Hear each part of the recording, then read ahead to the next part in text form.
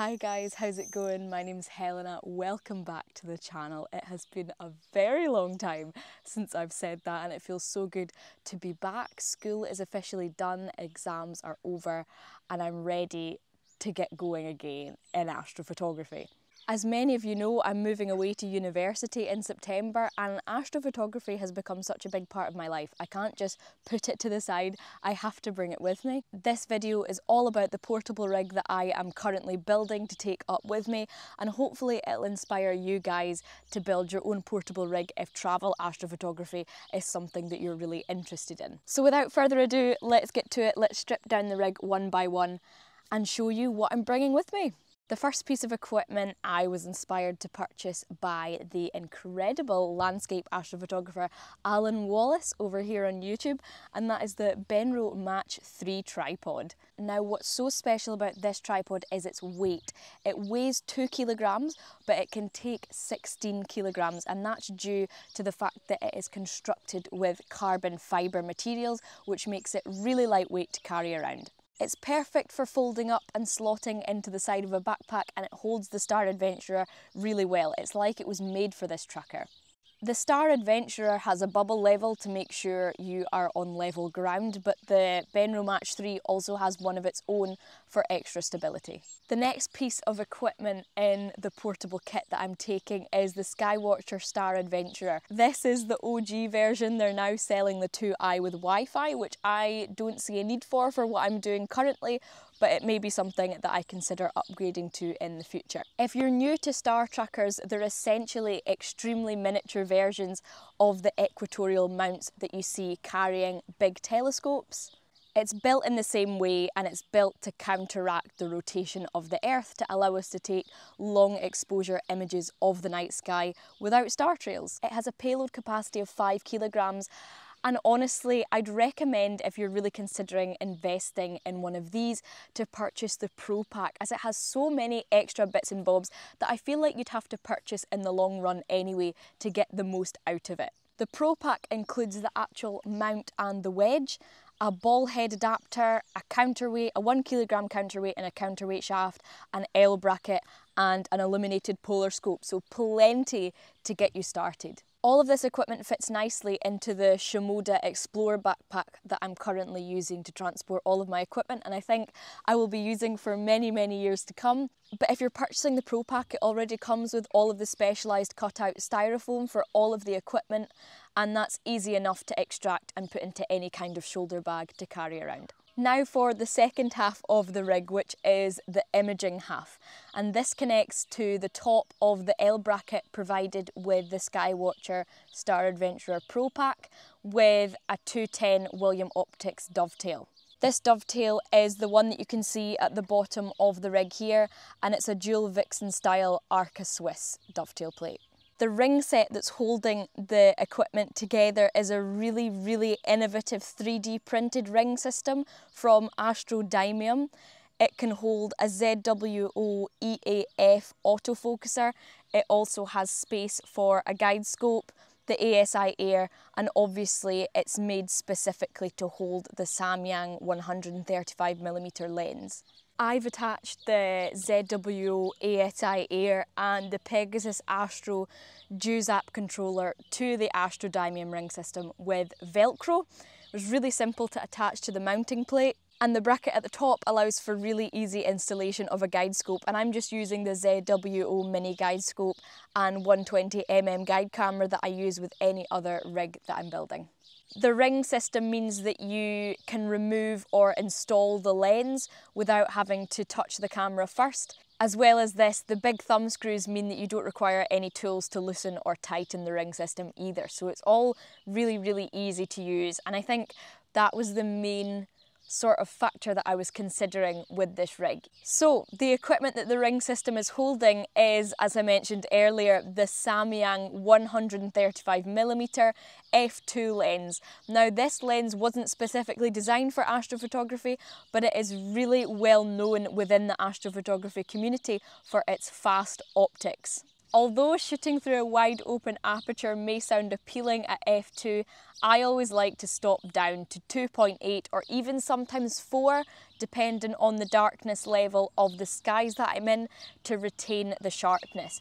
You are therefore sacrificing the amount of light that the lens is able to capture, but if you're in a dark sky location, this is not going to be affected. Another advantage of this lens having such great light gathering power is the need for shorter exposures. If the lens is able to capture large amounts of light, you're not going to need to expose for long periods of time to make up for the signal that's being lost. This can mean that tracking is more forgiving, for example, on the Skywatcher Star Adventurer, as if you're using shorter exposures, there's less demand on the tracking system to track the sky for long periods of time, and therefore this minimises the likelihood of stars trailing in your photos. The Samyang 135mm that I've got at the moment has the Canon EF adapter on the end of it and with this EF adapter it weighs 830 grams.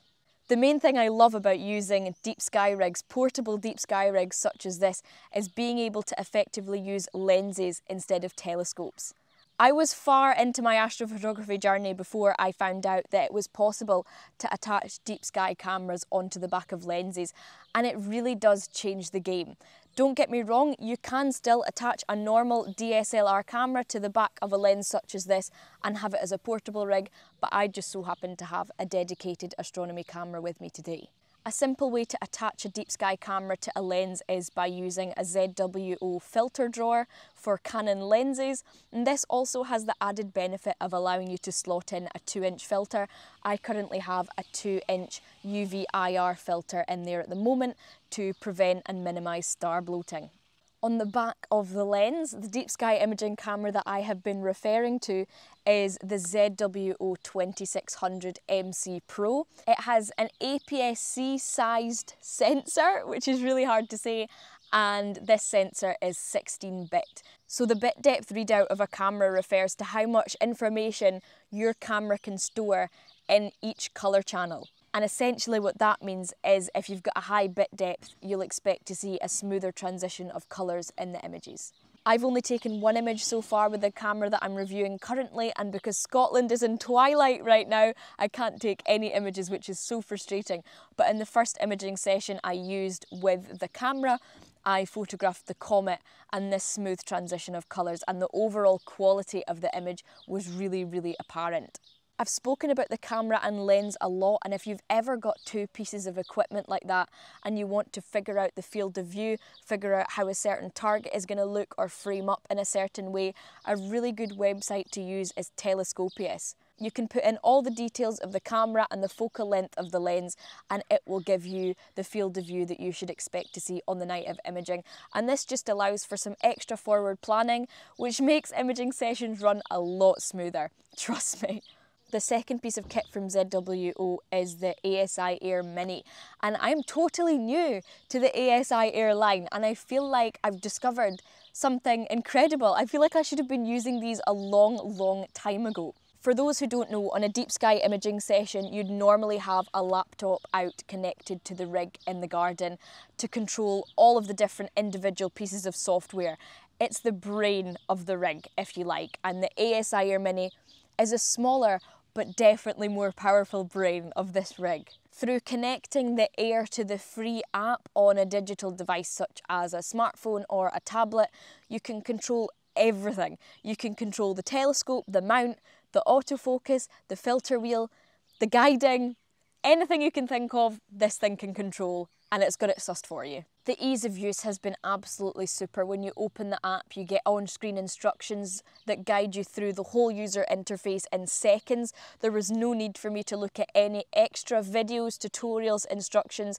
Everything that I learned, I learned as soon as I opened the app. Cameras like these produce very hefty image files as well. They're very large colour image files and even more so if you're shooting with a mono camera and the Air doesn't have any problem downloading these super quickly. Within seconds of taking the photo, you'll be able to see it on the screen. Now, the main thing I love about the Air is that it makes astrophotography accessible to lots of different types of people.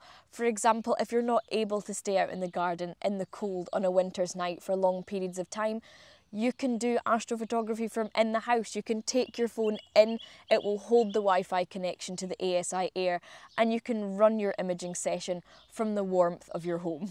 The final pieces of equipment today could be argued to be one of the most important, the smallest, but one of the most important, as if you forget these, your imaging session can easily be ruined, and that is dew heaters.